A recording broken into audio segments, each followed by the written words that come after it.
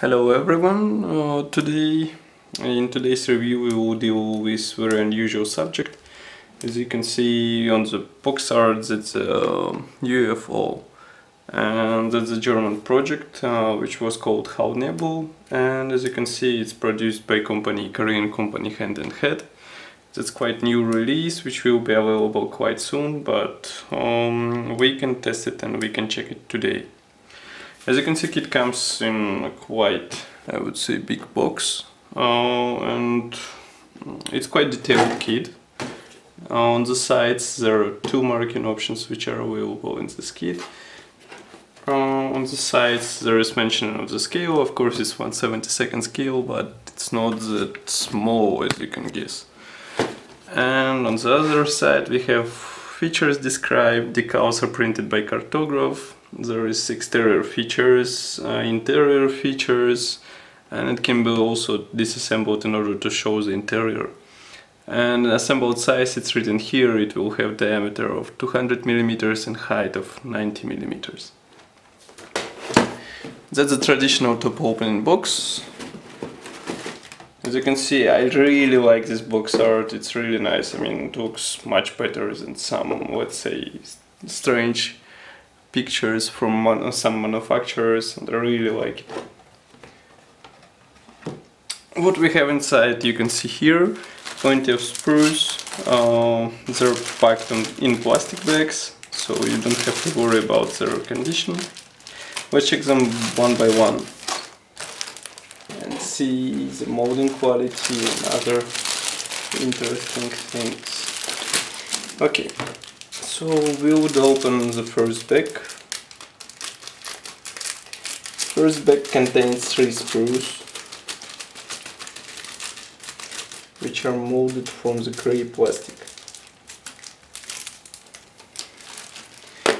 There all three are similar as far as you can see, so I would show only one because as far as I can guess all the three are concerned with each segment of the UFO, so we need to check on the one just to realize the quality, I mean to check the quality. So here we can see the cockpit floor, I think.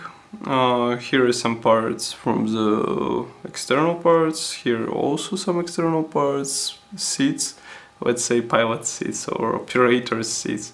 Here are some dashboard parts, and here uh, I would say landing gear as you can see, molding quality is very good. I mean, I don't see any flash. Plastic is quite uh, durable, and the landing gear is quite interesting. I mean, features really complicated molding, as you can see.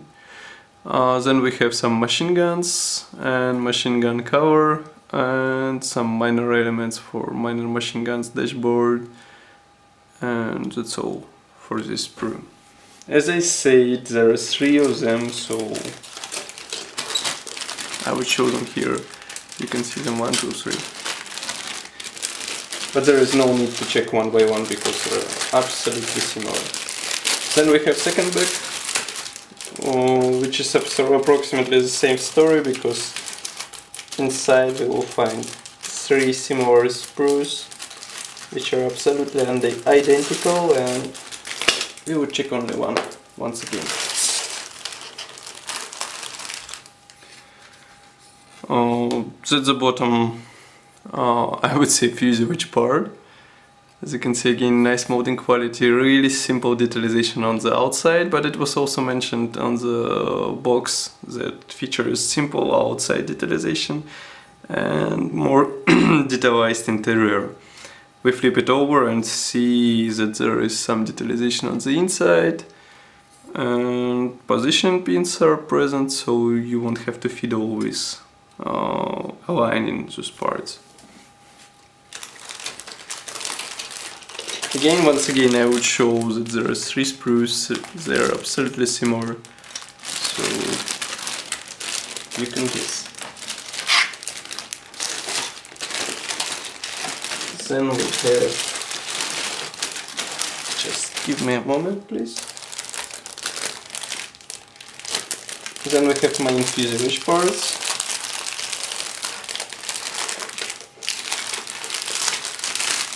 I need some time to realize how I should open this back. I think it would be better to open it like this.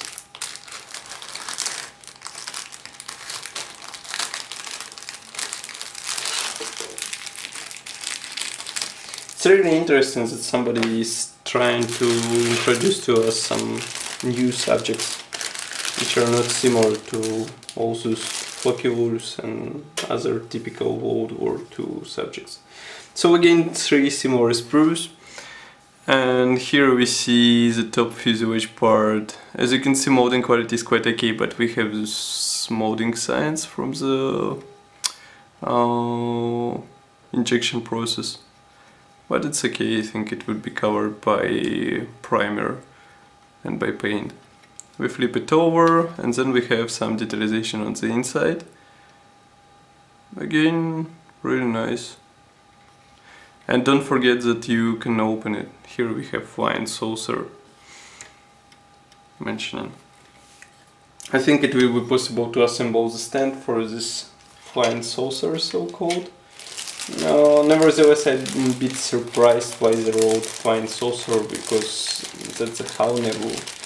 And a flying saucer why it's uh, featured because there was previous release which we would really review soon. It was called the Flying Saucer Adamski type. But it's not related with today's hero, let's say. And then we have one more sprue, which is a bit bigger than others. But it's still molded in the same quality. You can see it here. I will zoom it out for you. Now we will focus the camera and now you can see it properly. Really nice molding quality, absolutely no flash. Here is some mention left and right. I think it would be concerned with top fuselage parts. We have to check the manual. On the inside there is still some detailization present, even here, and here, and here.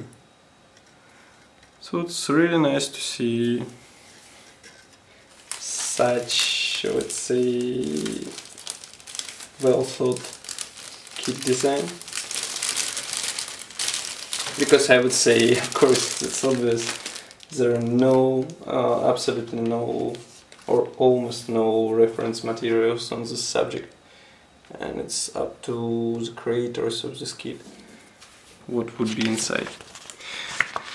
Then we have an assembly manual, which is printed on in the cover. As you can see, it's done in form of the small brochure. And inside we will find some quite understandable instructions on the on how to assemble this model. Uh, here we can see that it's called posing boom. Ah, it's not included into this kit, so here we can see control room and bottom plate assembly, uh, painting samples, they're given in RLM numbers, uh, what else, how to make panel lines, that's also interesting, they give us opportunity to design outer detailization by ourselves. So it's really um, very unusual approach to the model and to the kit creation. And then we have uh, what else here is applying decals, trimming parts, explaining all those methodics, parts map, you can see it here, and of course marking option guide, which is really nice because it gives again several options and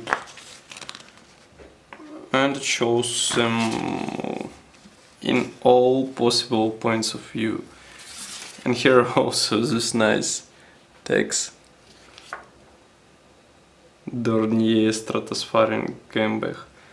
So it's really nice. Quite well designed manual. I think it will be helpful during assembly. Decals are packed in Ziploc bag as you can see. and of course there is not of course I mean as it's written on the box there is sticker with this uh, sign it's it would be featured only in the first um, party of this kit so let's check them closer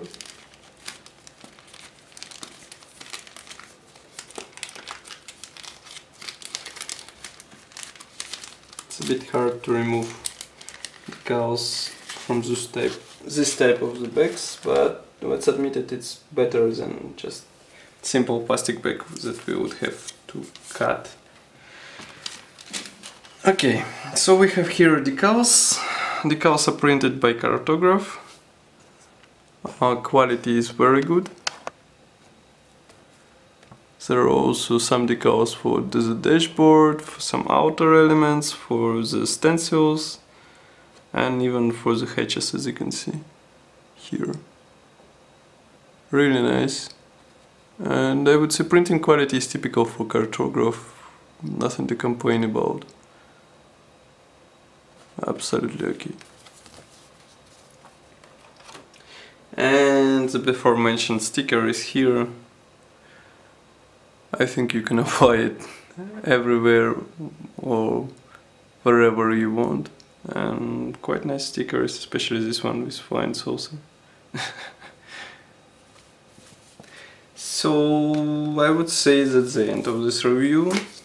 And I think that's quite unusual to see that somebody is introducing flying saucer to us and this 70 second scale model is not that small and it should look very nice in the assembled state. And moreover I'm really in favor of those solutions like I mean uh, possibility to design kit it yourself. You can do panel lines you can do riveting you can do whatever you want because outer panels are quite simple.